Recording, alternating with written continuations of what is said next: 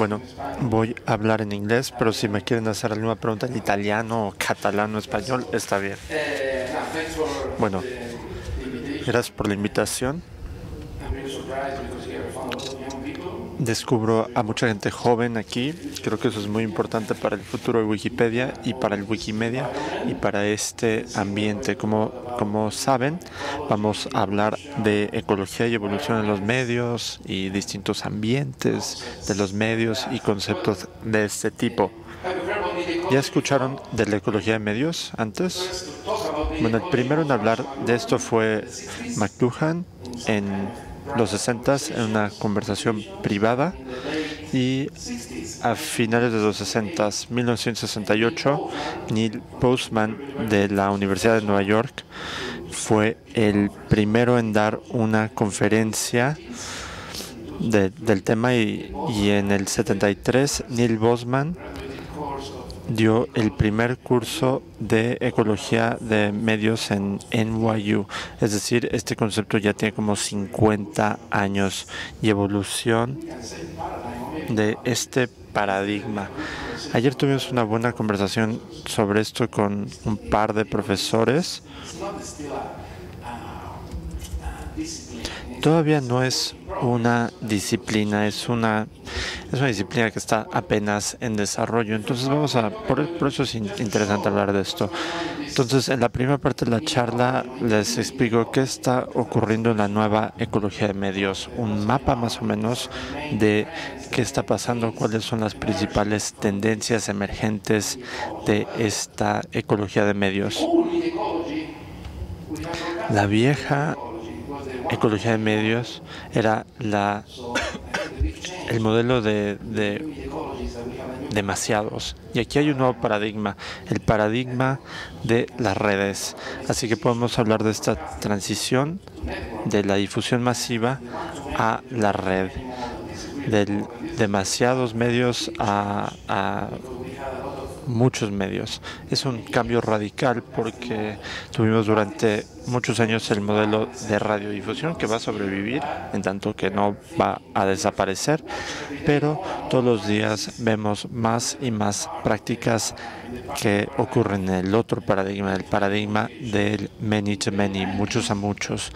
En los años 90, a principios de los 90 teníamos, bueno, la transmisión era paradigmática, pero la red cambió todo. Me acuerdo, yo vivía en los noventas en Italia.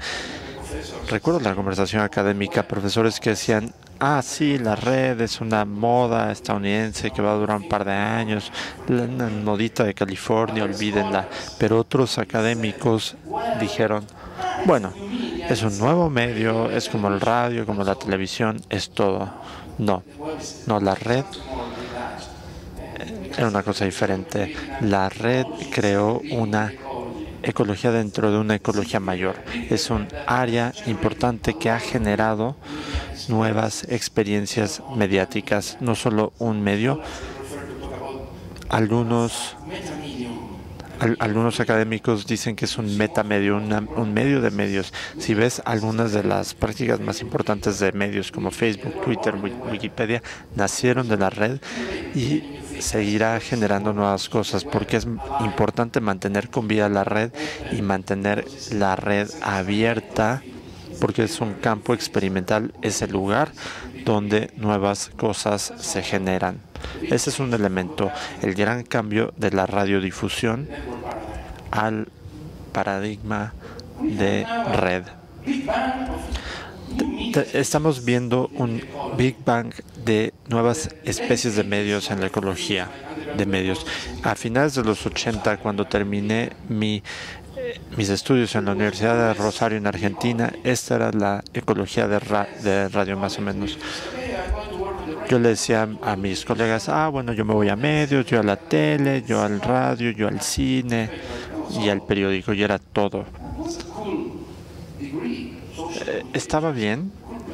La comunicación social era una era muy padre como profesión. Esa era la situación a finales de los ochentas. Aquí podemos ver la explosión de los nuevos medios y podemos crear un vínculo entre la evolución de una especie biológica ya saben, en momentos específicos de la evolución del planeta en el precámbrico, para ser precisos, a 250 millones de años hubo una explosión de, nuevas especies y grandes eh, extinciones. Aquí ahora estamos viendo una explosión de nuevas especies de medios.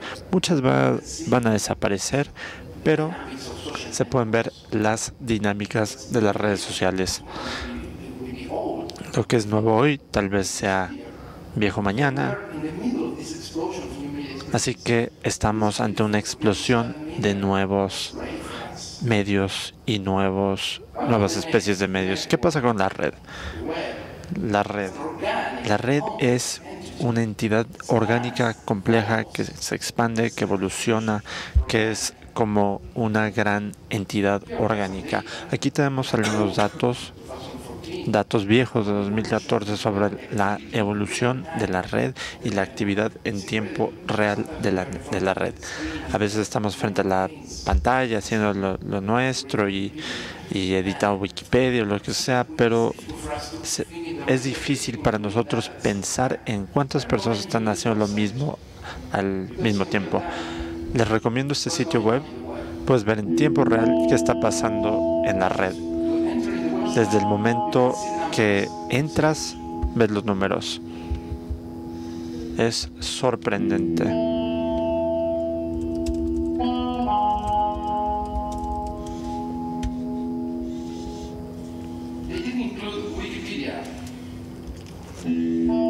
Ahí está incluido Wikipedia.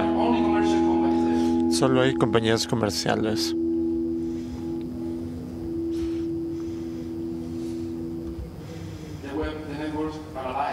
La red está viva.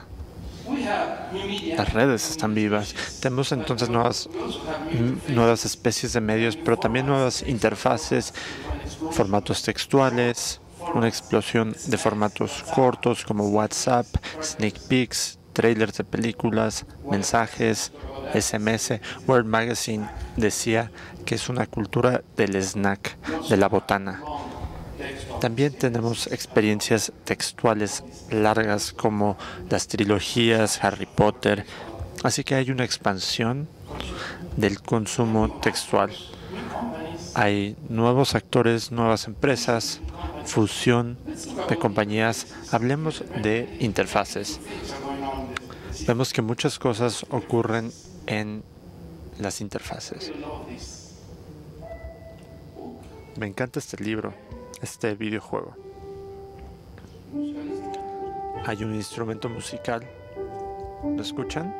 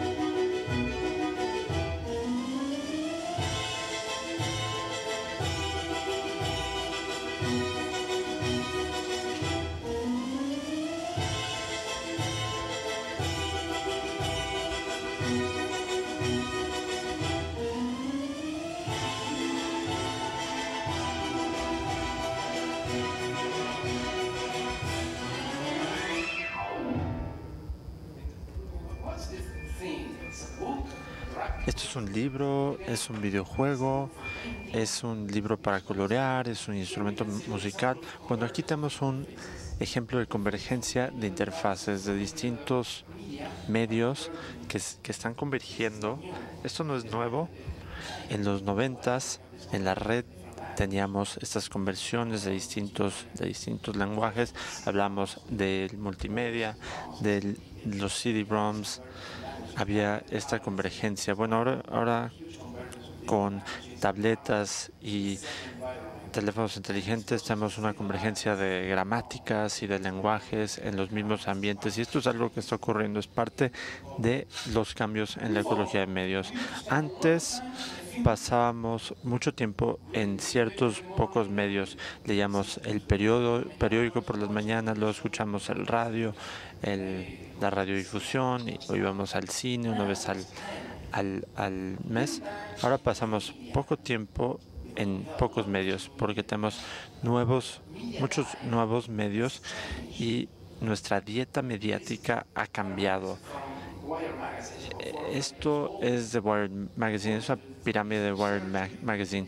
De acuerdo con una investigación en Estados Unidos, se pasa nueve horas al día consumiendo y produciendo información. De acuerdo con este libro, La dieta informática, que es del 2011, pasamos 11 horas cada día consumiendo y generando información. Por eso ahora tenemos los prosumidores, que son consumidores y productores de información.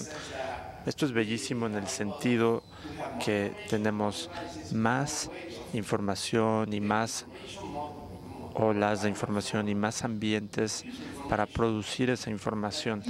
Pero esta fragmentación de públicos o atomización de públicos está matando el negocio, el modelo tradicional de, del, broadcasting, de la radiodifusión y de la transmisión porque ahora tenemos una explosión de los procesos de consumo de medios y en este contexto se habla, por ejemplo, de la narrativa transmedia y una de las estrategias para conectar estas distintas experiencias es crear una narrativa que integre los distintos elementos. Entonces, cuando hablamos de la narrativa transmedia, hablamos de conectar las distintas experiencias mediáticas para equilibrar la explosión de los públicos de los medios. Por ejemplo, Star Wars o Harry Potter o Matrix.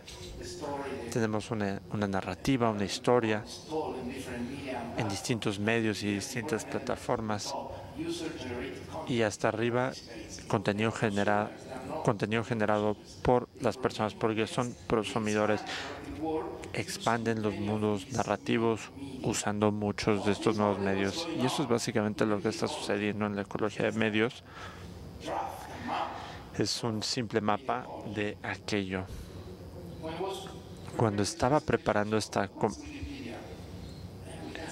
esto, bueno, ¿qué es Wikipedia? Wikipedia es una entidad viva que se adapta a la ecología de medios y que evoluciona. Wikipedia está vivo y esto se descubre cuando ves la discusión en cualquier, sobre cualquier texto en Wikipedia. Algunas personas están trabajando en el desarrollo de nuevas interfaces y y formas de representación para mostrar la actividad de Wikipedia. Muchos de ustedes conocerán este proyecto. Es para escuchar cómo suena Wikipedia. Se puede ver en tiempo real aquí.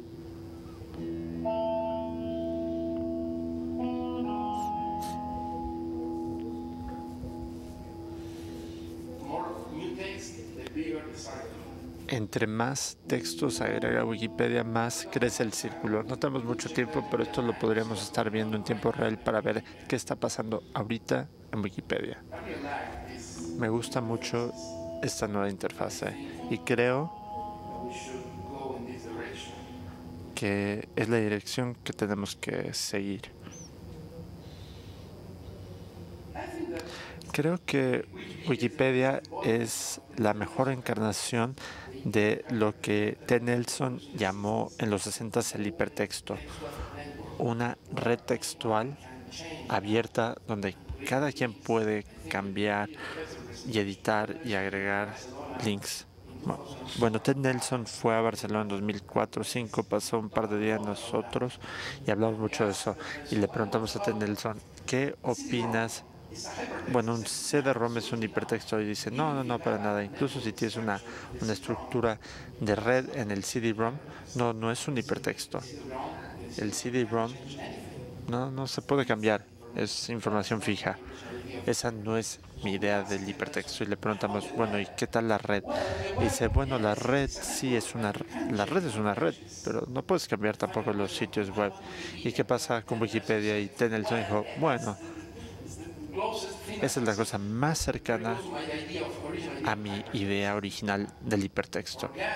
Algo orgánico, una red orgánica donde cualquier persona puede cambiar y modificar los vínculos y recuperar los documentos, el, el docuplex. Y podemos hablar también de la galaxia textual. Y en ese sentido, encontré este otro proyecto muy hermoso, no sé si lo conozcan. Es una representación astronómica de Wikipedia que se puede navegar. Está buscando a Diego Maradona, está por acá y se pueden ver las conexiones, se puede navegar la información.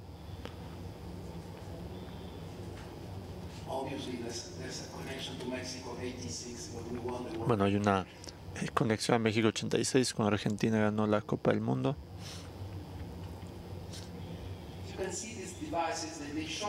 Esto nos muestra la idea de Wikipedia como un ambiente orgánico vivo, en evolución y las distintas conexiones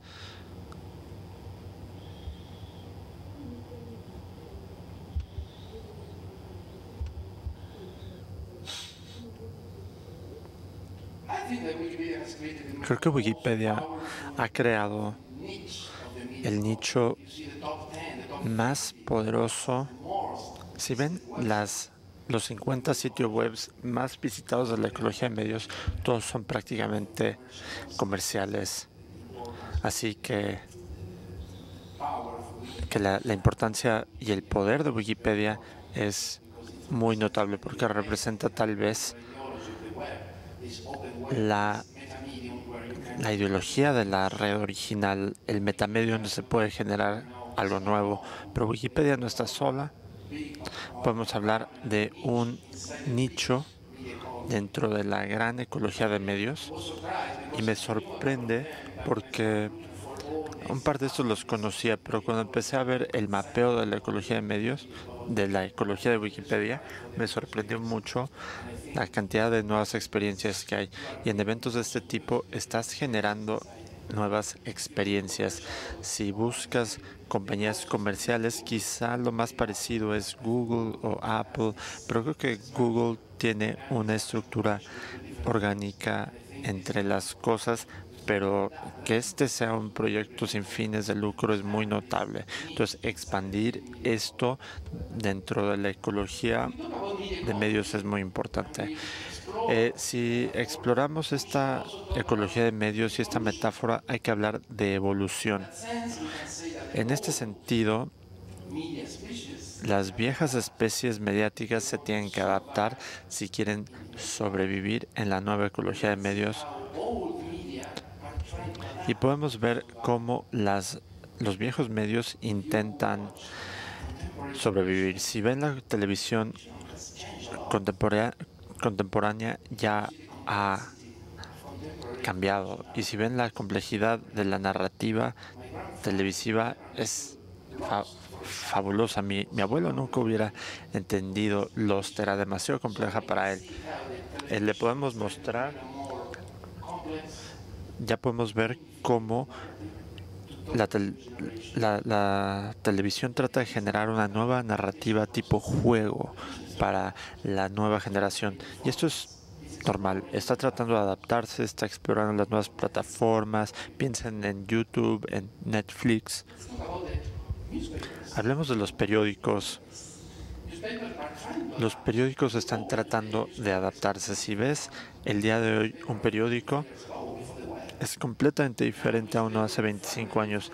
Ahora se incluyen muchas infografías, imágenes y pequeñas cositas de texto porque a la gente no le gusta leer mucho. Hoy un periódico es un sitio web impreso. Mi opinión es que la situación es muy difícil para los periódicos, incluso si se tratan de adaptar, no lo van a, lograr. Creo que los periódicos, este objeto que compramos en las mañanas, este, estas hojas de papel que se imprimieron hace 12 horas con información de ayer no tiene futuro. No digo que se va a acabar el periodismo ni las revistas, pero sí, sí los periódicos. Entonces los medios, un medio se puede extinguir. ¿Qué más? Esto.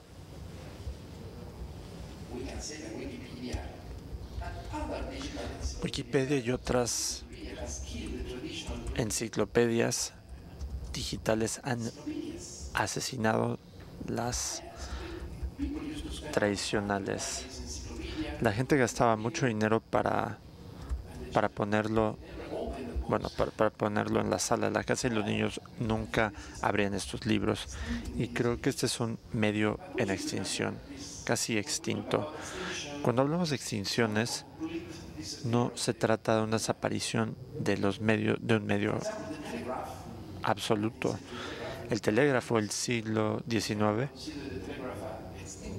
ha desaparecido prácticamente. Podemos considerarlo un medio que se extinguió, pero el lenguaje telegráfico sigue vivo. Cada vez que tuiteamos, que mandamos un WhatsApp, un mensaje texto, usamos el lenguaje telegráfico.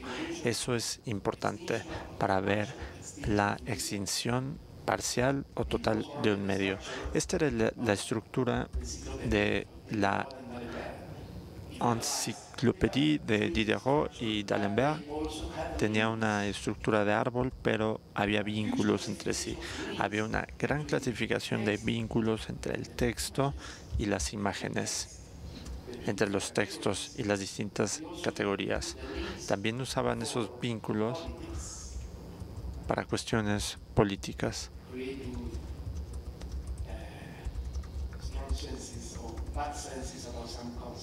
para crear sentidos o darles cierto matiz a ciertos conceptos. Bueno, creo que la enciclopedia tradicional impresa está extinguida, pero la idea de crear conexiones está viva. McLuhan decía que el contenido de un nuevo medio es el viejo medio. Ese es uno de sus aforismos más conocidos. Eso es verdad, el contenido de un nuevo medio de la Wikipedia son los vínculos y estas estructuras que corresponden al pasado. Eh, tenemos acceso abierto y colectivo y está creciendo constantemente. Tomamos y mantenemos algo del pasado. Bueno, para cerrar, dos ideas sobre la evolución de Wikipedia propuestas, creo que tenemos que incrementar el contenido transmedia porque hemos visto que uno de los elementos claves de la nueva ecología es la narrativa transmedia, así que hay que explorar otras posibilidades de hibridización. Nuestro próximo orador, García Canclini, es un referente clave de la hibridización. Bueno, yo lo he estado leyendo las últimas 25, durante los últimos 25 años, o pensemos en Wikicomics, en Wikijuegos, en Wikiapps, pero hay que explorar, eh, hay que pensar en hibridización en, y en la transformación del texto y la imagen y generar una experiencia transmedia. Piensen en, en, los juegos de Wikipedia. Esa es una dimensión que vale la, pena, vale la pena explorar. La siguiente tiene que ver con nuevas interfaces. Este proyecto que les mostré, eh, tenemos que navegar la información, tenemos que navegar en esta en, esta textualidad hay que pensar en el en la hoja, en la página. Tenemos una cultura de 2000 años de del browsing, de la navegación. Quiero hablar y compartir con ustedes un proyecto de una universidad. Yo, yo soy, bueno, esto es de la de la ACT. No sé si conozcan el Rectable. Es un instrumento para música electrónica y pensé, ¿por qué no crear una interfaz de este tipo para navegar la Wikipedia?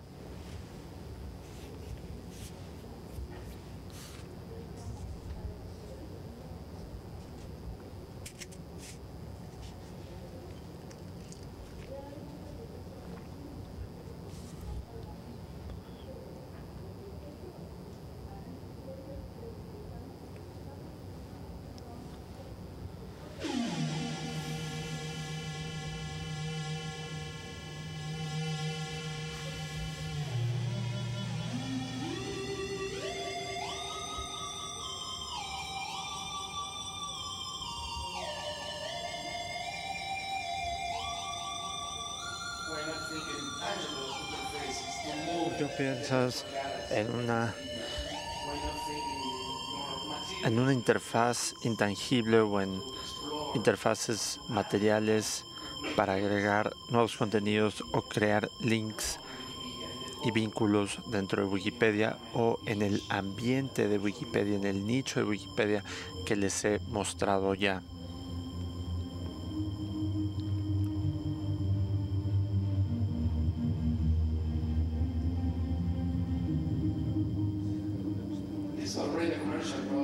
Es un producto comercial.